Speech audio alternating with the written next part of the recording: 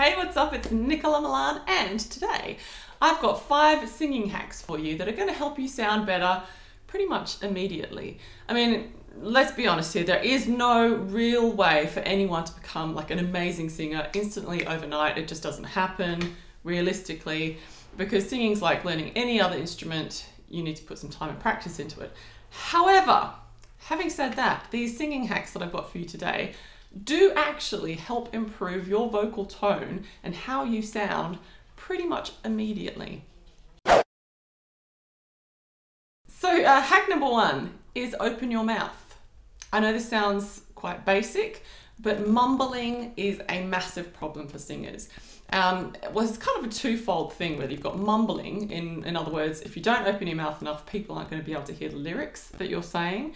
Um, and the second of all, second thing is, is that it, it affects your sound.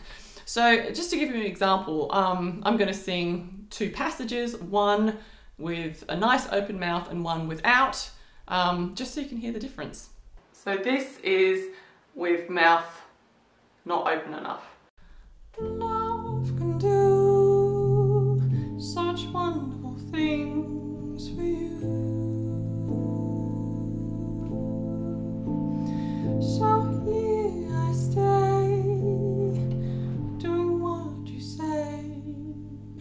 Okay, now I'm going to sing that with mouth open. Cause love can do such wonderful things for you.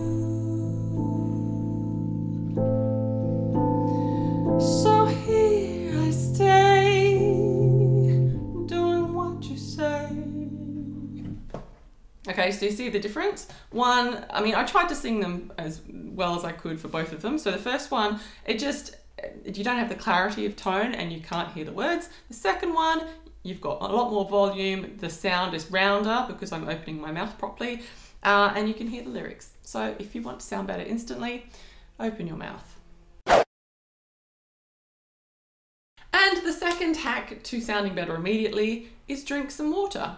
And it makes absolute sense because your body is your instrument as a singer, and if you're dehydrated, your voice is going to sound raspy and it's going to be harder to sing. So if I'm ever in the recording studio, I will drink like a shitload of water, excuse my language, and, and I will drink so much like before the session and during each, like in between each take, I drink water. And there's a reason for it. It's because it makes your voice sound better. It's all about vocal lubrication. So if you're finding that you're the type of singer that's got it's getting a sore throat, I mean that could also be vocal tension, but we'll address that in a different video. But uh, you know, it could be just because you are dehydrated. And I know that sometimes, you know, if I'm doing my vocal practice and I'm feeling after a while, like, because I do sort of three hour vocal practice sessions, then after a while I kind of feel like, oh, you know, I'm starting to get a little bit sore. I'll go and have a big drink of water and it solves the problems straight away. My third singing hack is to ignore all the twiddly bits. So don't sing all of the riffs and the runs if you're not going to pitch them right. Sing less notes and it will sound so much better. And this is something that so many, especially new singers, do. There are a lot of singers, like, you know, um, celebrity singers out there, like Ariana Grande, you know, a lot of these pop singers and things, that do a lot of riffs and runs as part of their general singing. It's it's catered towards them. It's because they use quite they're quite light on their vocal folds. We can go into riffs and runs later as to the mechanics of how. But if you can't nail all of the twiddly bit notes and you're trying to copy them exactly, it's just going to sound unpolished and crap. The best thing that you can do is to cut out the twiddly bits and just sing the straight notes. So I'm going to give you an example. Okay, so as my example, we're going to use Chris Stapleton's Tennessee Whiskey. I'm so into Chris Stapleton at the moment. He's just like, he's such a good songwriter. I have to do some breakdowns of his songs. Oh, they just, they tingle me. Okay, this is Tennessee Whiskey, and he's got an extreme twiddly bit, a riff and a run coming right up.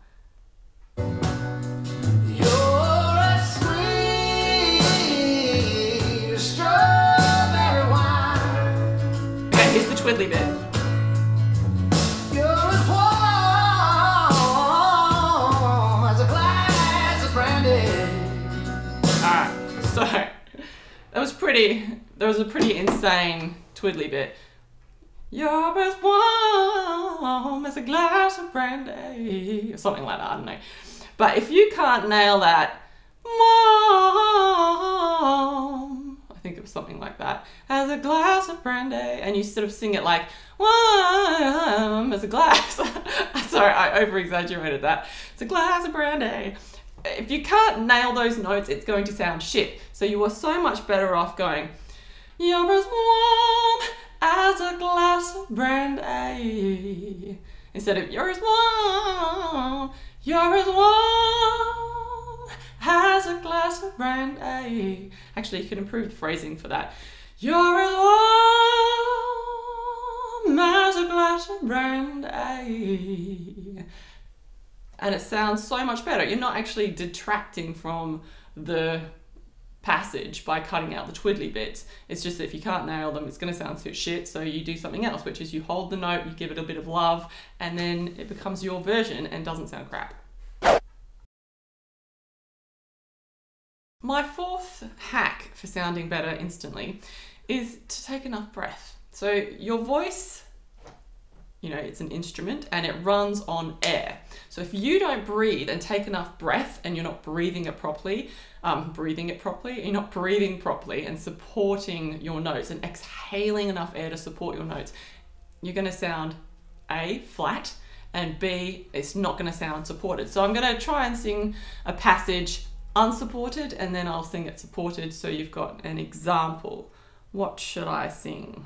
Consult the chart books. All right, so I'm gonna sing this and it's gonna actually be quite hard for me to do this without breathing properly because it's so ingrained now after singing for so many years. But this is the version without enough breath support. Now you say you're lonely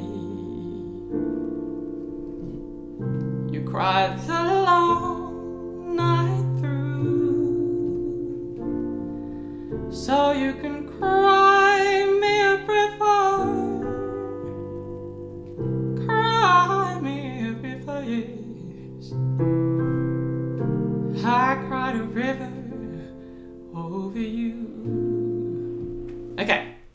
now I'm gonna sing it with breath support. Now you say you're lonely.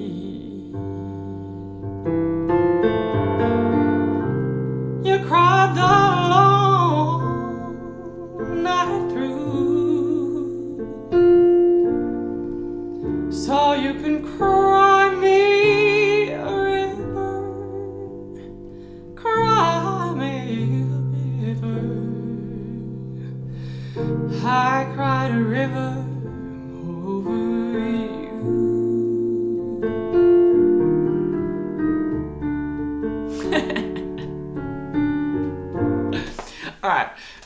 Okay, so um, I hope that was a good enough demonstration. Obviously, I sang them differently both times because, hey, I'm a jazz singer and that's what we do.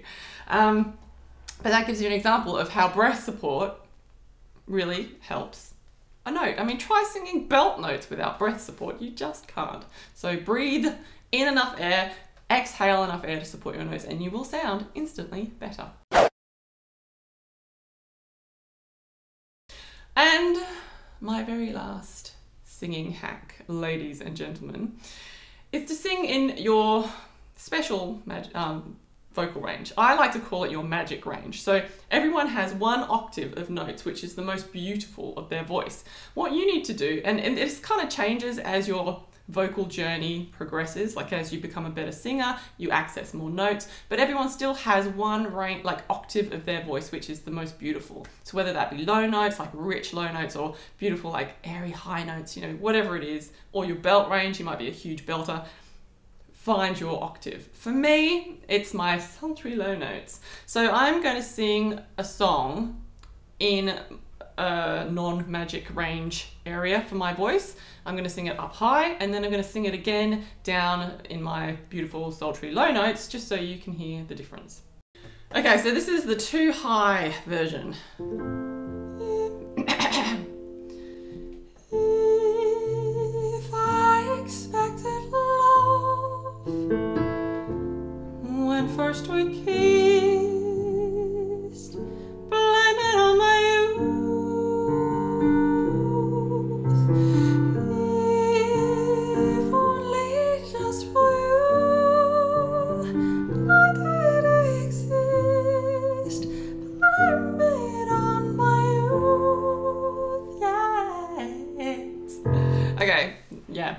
Best. Okay, so now I'm going to sing this in my range.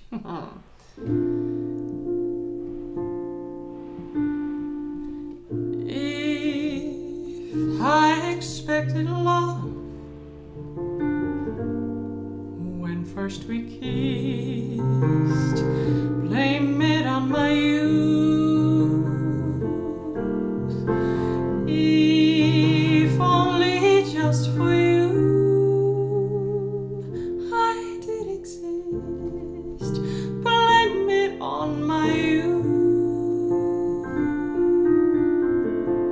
So, obviously, there was a difference. so, uh, yes, pick the best vocal range for your voice, transpose your song down or up, or just pick a song that the artist is already singing something that you're comfortable with if you don't know how to transpose. And you will sound instantly better. So there you go, those are my five hacks for singing and sounding better pretty much instantly. Like I said, you know, singing, it's like any other instrument, you do need to practice to develop your skills, but there are a few little tricks and things like that that you can use, like these ones. No matter how long you've been singing for, you can still apply these hacks to make sure that you're sounding pretty good. I hope you've enjoyed this video. If you did, don't forget to subscribe for videos like this and others. My channel is all about music, art, and tutorials. Um, and I've also got some vocal warm up freebies for you if you'd like to grab those. I will link them below.